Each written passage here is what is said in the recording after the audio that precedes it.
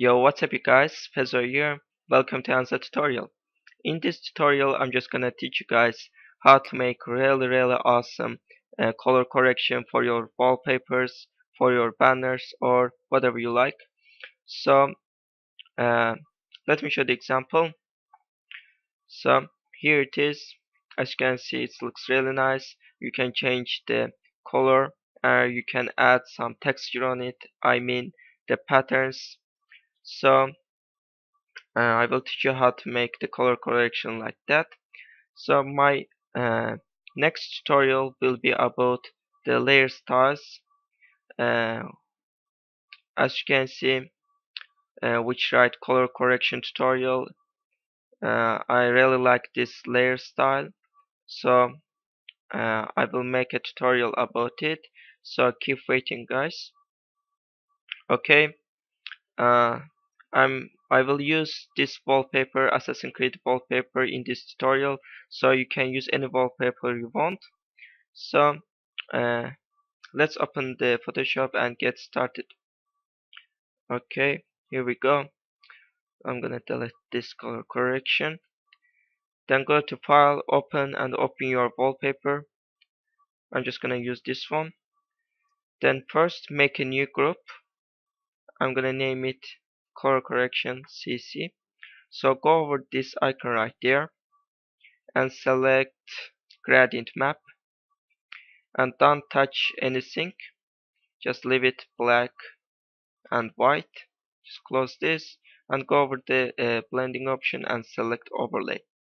Then change the opacity about 50% uh, then go over this icon again and select curves. So just uh, make uh, two points on this line. So first one right there. So make it a little bit down like this. Depends on your wallpaper and uh, make the second point right there and make it a little bit up. If you're uh, if you're using a darker wallpaper just put it uh, right there.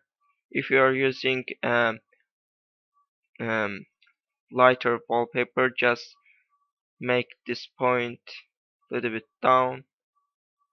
So I'm just gonna use this one. Here we go. Depends on your wallpaper. So close this and change the opacity about 75% so I'm just gonna add answer gradient map. So go over this icon again and select gradient map so open this color open the first one and make it uh, dark gray not full uh, black just a little bit this color I mean. So click OK go over the second color. So select whatever uh, color you want. So I'm gonna choose the red color like this you can copy uh, this code right there. C6 uh, 39 39 so click OK. Then close this and change the blending option hue. So now I'm gonna add uh, levels don't touch these settings only change the middle one. So just write 0 0.95 so it gives you nice uh, dark effect. So now I'm gonna add um, brightness and contrast. So just uh, play around these settings. So I'm just gonna make this brightness 12 contrast about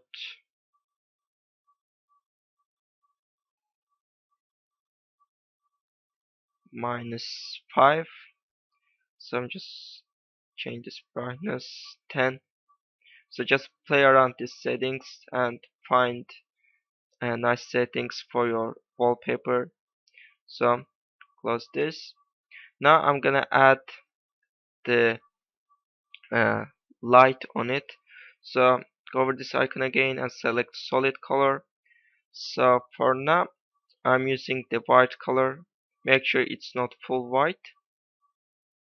So uh, I'm using this code df df and df so just copy this code then click OK and change the opacity about 10% or I'm I'm just gonna use 8% so here we go. Now I'm just gonna add uh, patterns on it. So go over this icon again and select pattern. Uh, so I'm just use this one uh, just go uh, go to Google and search uh, download uh, patterns for uh, Photoshop. So you will find these patterns. So click OK. Then change the blending mode overlay and change the opacity about 15% okay 15% so uh, just make a new effect uh, bottom of this uh, uh, white color. So just go over this icon again and select color lookup. I really like this option so you can select your favorite effect. So just play around these settings for example I'm going to choose this one. It's crisp warm so you can select any effect you want. So make sure it's bottom of this color fill. So I'm just gonna change the opacity about um 70 70 percent so it gives you nice effect. So if you want to change uh, the color just go over this gradient map which is blending option is hue just double click on this icon and you can change the color. Just select only change the second color.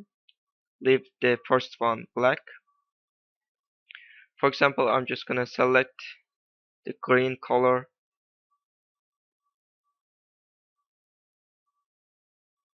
Okay just click ok. So here we go. So that's all guys. You can create a nice color correction like this. So thanks for watching. I hope you enjoyed this tutorial. So don't forget like comment and subscribe. Bye bye guys